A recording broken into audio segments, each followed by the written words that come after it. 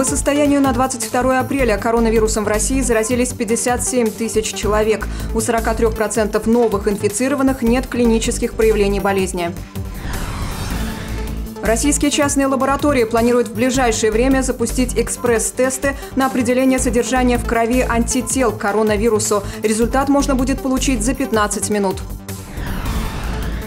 Производители соли сообщают, что рост заказов на их продукцию увеличился на 20%. Ранее Минздрав порекомендовал россиянам промывать нос соляным раствором для профилактики COVID-19. Власти Сиднея ослабили ограничения, введенные в связи с эпидемией, и открыли три городских пляжа. Местным жителям разрешили проводить на них время только активно двигаясь, гуляя, бегая или плавая. Дональд Трамп заявил, что власти США приостанавливают выдачу грин-карт иммигрантам на 60 дней. Эта мера поможет безработным американцам трудоустроиться после окончания карантина.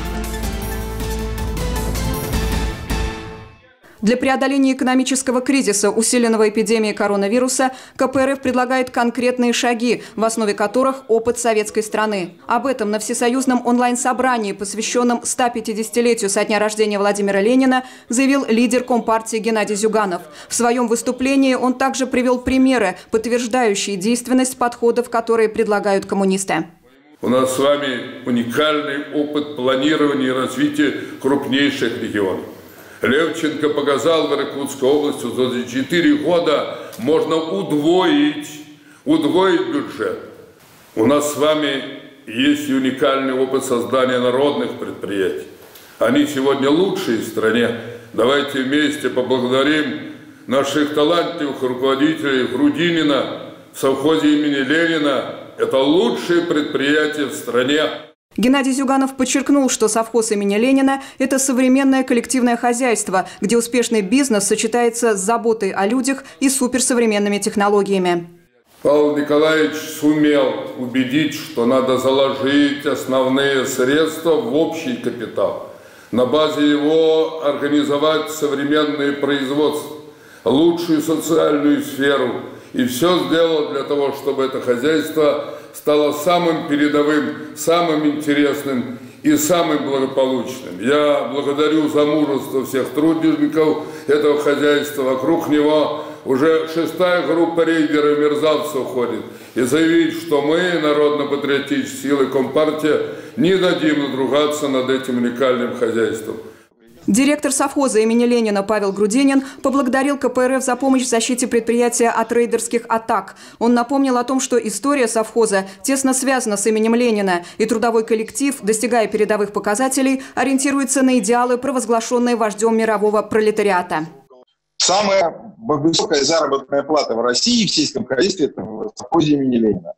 Самые высокие показатели урожайности овощей, картофеля – Самые высокие показатели производства земляники, а мы крупнейший в России производитель вот этой красной революционной ягоды земляника, все это наш совхоз. Мы являемся законодателями с точки зрения социальной ответственности бизнеса. Самые высокие выплаты пенсионерам, самые защищенные дети, у нас бесплатные кружки. Помогаем всем ветеранам нашего совхоза и работникам совхоза получать медицинские услуги. Мы построили великолепные детские сады. Все это мы делали, исходя из того, что мы живем по ленинским принципам. Павел Грудинин также сообщил о том, что совхоз выполнил свои обязательства перед Компартией и завершил к юбилейной дате строительство многофункционального спортивного комплекса с четырьмя бассейнами и аквапарком.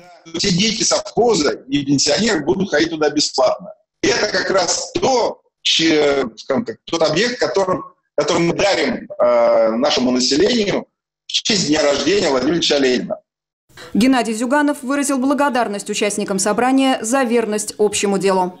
Мы идем ленинским курсом, мы отставим высшие идеалы, идеалы российской государственности, советской справедливости и высокой народной духовности.